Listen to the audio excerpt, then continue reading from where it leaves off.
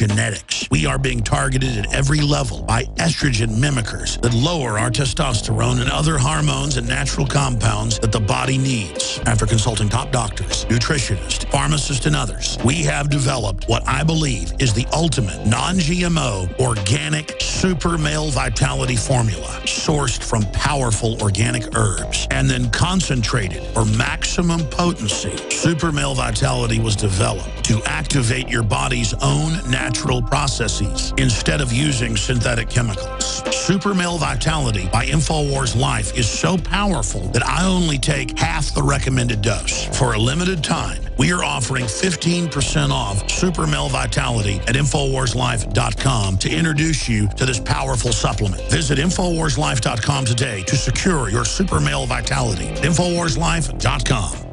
Alex Jones here to tell you about how you can help spread liberty worldwide while also enjoying what I have found to be the best tasting 100% organic coffee on the planet. For more than a decade, my favorite coffee has come from the high mountains of southern Mexico, where the Chiapas farmers grow their unique shade-grown Arabica beans. We have now managed to secure these sought-after beans in a highly customized blend. Discover and try a bag of the Patriot Blend 100% organic coffee at InfoWarsLife.com. This coffee gives you a long, smooth pick-me-up for hours without the headaches and heartburn that so many other coffees give me personally. Hands down, this is my favorite coffee, and it's taken us years to secure connections directly to the Chiapas Mexican farmers. Drop by the site today, order a bag or two, and I don't think you're going to be disappointed. Available in original or with our immune support infusion blend. You will be supporting a free press, all the while enjoying a truly great-tasting cup of my favorite coffee. Available at InfoWarsLife.com.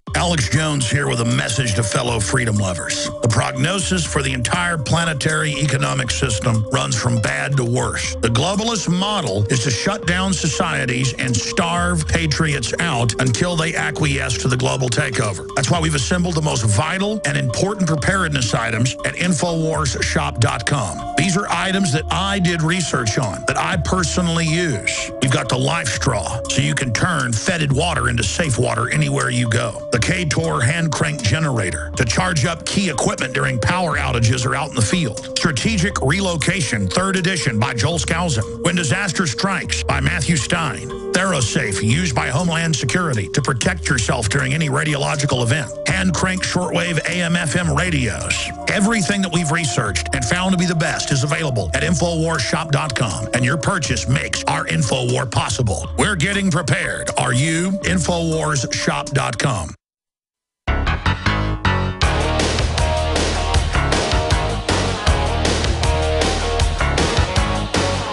Crashing through the lies and disinformation. It's Alex Jones on the GCN Radio Network.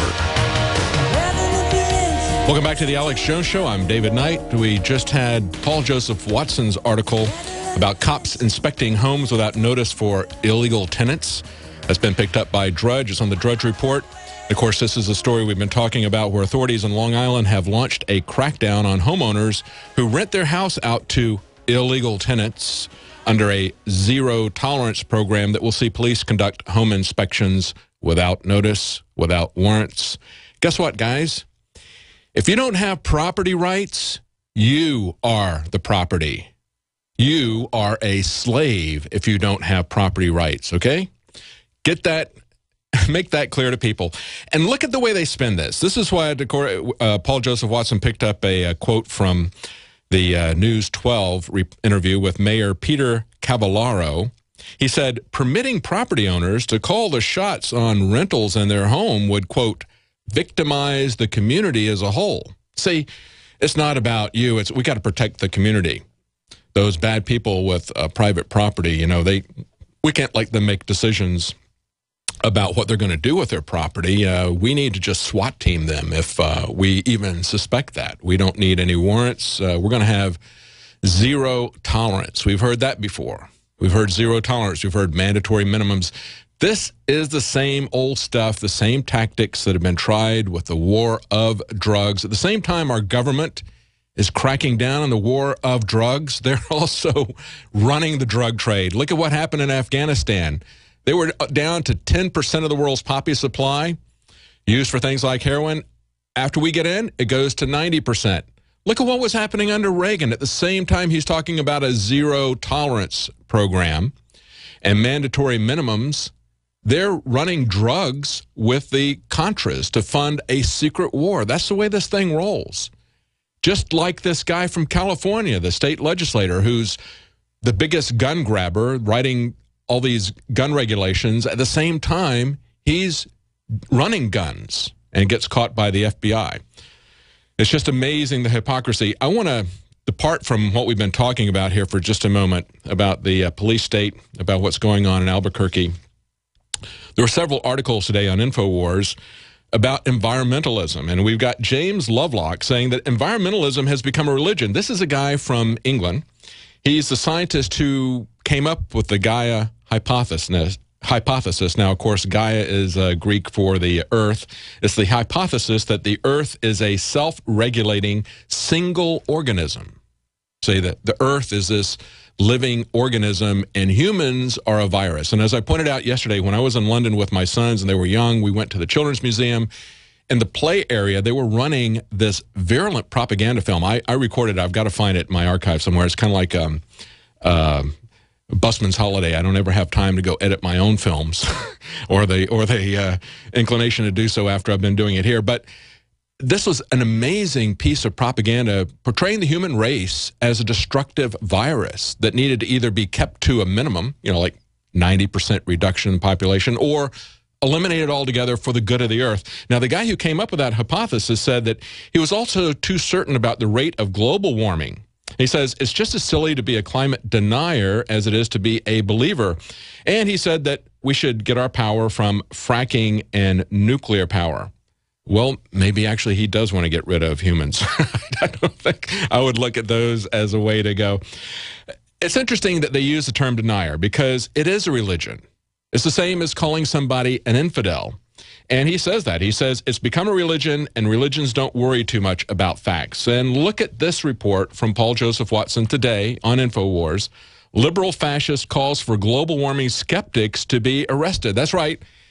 Burn those infidels. Okay, this is a, as he points out, Paul Joseph Watson says, a demented rant by Gawker's Adam Weinstein calls for thought criminals who question man-made global warming to be arrested and thrown in prison. Actually, we have some very compelling scientific data and measurements to back it up to deny that there's global warming. But anyway, this is what the uh, demented Gawker rant said. He said, We have laws on the books to punish anyone whose lies contribute to people's deaths. It's time to punish these climate change liars. Those denialists should face jail. They should face fines. They should face lawsuits from classes of people whose lives and livelihoods are most threatened by the denialist tactics. This is liberal intolerance, liberal hate. Okay, this is the same sort of thing that we saw last week as arguments were being made before Hobby Lobby. We saw people like Jon Stewart coming out and ridiculing Hobby Lobby as Jesus Christ Superstore and saying, who are they to decide? You know, not only are they, uh, it, it, appears that anybody, no matter how stupid, can uh, claim a religious exemption. And it's like, yeah, that's right. You don't get to decide, Mr. Stewart whether somebody has a religious belief or what that religious belief is. That's what the First Amendment is about, is to protect you as well as other people. Voltaire understood that when he said, I may not agree with you, but I'll defend to the death your right to say what it is you want to say. That's what First Amendment and religious freedoms are about. You don't get to decide. The intolerant liberals don't get to decide. The intolerant conservatives don't get to decide. You have freedom and only have freedom if you support that choice for other people. But going back to this whole thing about it being a religion and deniers being infidels, we can see this in the movie that just came out this last week, in Noah, another article from InfoWars up from Michael Snyder. In Noah, the fallen angels are the good guys. He points out in Noah, the fallen angels are good guys that were kicked out of heaven because of their compassion for humanity. They help Noah build the ark and they ascend to heaven when they die, helping to defend the ark against a band of marauding evil humans. Darren Aronofsky, the director, stated that he attempted to make the least biblical biblical film ever made. Well, I think he accomplished that, but did he really make anything that anybody wants to see? There's a director, Brian Godawa, and he got a release of the script before it came out, and he was telling everybody that this really is not at all about the biblical story of Noah. It's about that being hijacked for a different religion, for an environmentalist religion. And that's exactly what it is. He saw it this last week and he said, Yeah, you know, I had a lot of people criticizing me because it was a preliminary script and they said, Oh, it's going to be different.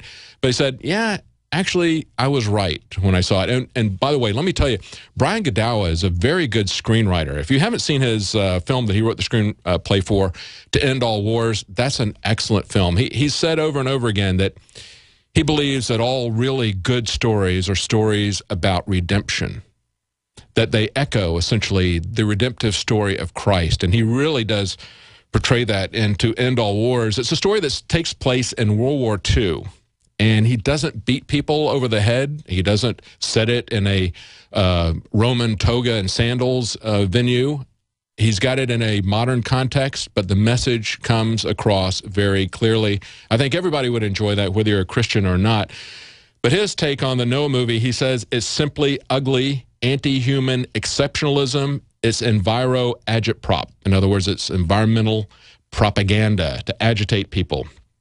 And he says that like the last temptation of Christ, all the controversy overshadowed the fact that it is just plain terrible storytelling.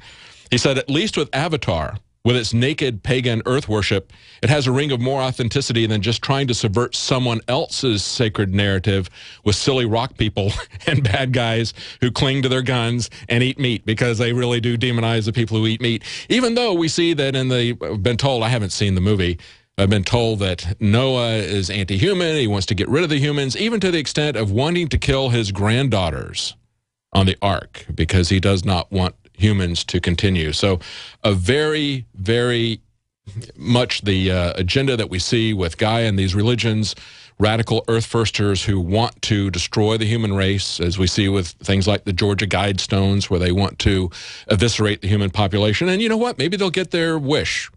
We've got an outbreak of Ebola that's jumping across the borders. It kills 90% of the people. And as the uh, eugenicist here in Austin said, as Alex has pointed out many times, he was saying that that's exactly what we need. We need an airborne Ebola virus to rapidly get rid of 90% of the Earth's population.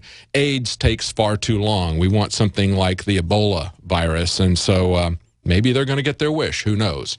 It's something to look out for. Let's go back to your calls. Uh, we've got uh, Barry in Ohio. You wanted to say something about uh, Brave New World, I believe. Uh, yeah, actually, I did.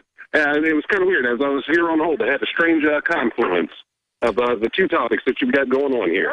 Okay. When you talk about uh, dystopic novels, mm-hmm. the most appropriate one is going to be Fahrenheit 451. Mm-hmm. Okay, in Fahrenheit 451, there are no doctors, there are no nurses, there are technicians. The machines do the work. There's no society. Everyone spends their money on video walls. right? And everyone everyone that can only talk about what they have on the video walls and they call them the family. Yeah. You know, that my family is on the video wall, right? That's right. And everyone lives in fear of the fire dog, which is, of course, a robotic spider. Yeah. With a lethal injection, and they can track people by their DNA set. Man. Now, here's the important part the uh, hero in the story escapes. That's kind of important because they can get away with this. Now, there is a man that is killed for no reason. They sent the you know the dog out to kill a man, and the dog kills the man. It's not about the hero escaping. It's not about the man who dies. It's about all of the people that stand in line. You know, the people that keep their head down, the people that just want to get by, the people that just uh, yes. you know get on with society, that sort of thing, right? Yes, yes. When you look at the, the shooting out there in uh, New Mexico, you know the the gentleman, you know, was uh, doing nothing wrong. He lost his life. That's regrettable. The police are going to, you know, do whatever they do. But think about how many thousands of people aren't going to be in that park. That's right. That's right. Yeah, that's uh, exactly exactly right. You know, it is sad, isn't it, how we're living in this dystopian future. It's a confluence of a lot of all the worst things that we've seen in the movies and books. I mean, uh, we also see the rise of the robots, and we see elements of the Terminator being planned by DARPA. I mean, it is it's really frightening. But and we don't know what the future holds, but as many people have said, we know